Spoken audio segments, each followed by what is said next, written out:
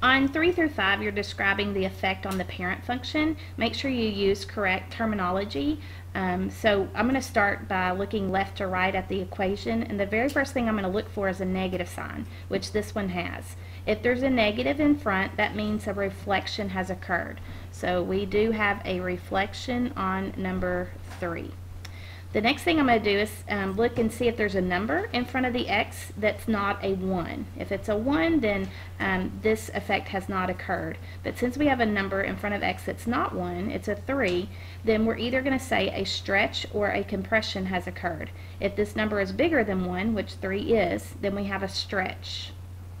If it's a uh, fraction or decimal between 0 and 1, it would be a compression.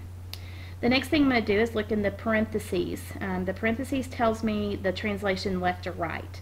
And so we do have a translation here. Remember this sign um, does not tell the truth about the direction though. So you might think that's um, translating to the right, but it's actually a translation to the left. So we're translating left two units. If you don't have a number in the parentheses, then you did not have a left to right translation. And then finally, the number at the end that's either added or subtraction, um, added or subtracted is also a translation, but that's an up and down translation. The sign tells you exactly which direction it's going. So the minus one tells us we translated down one unit.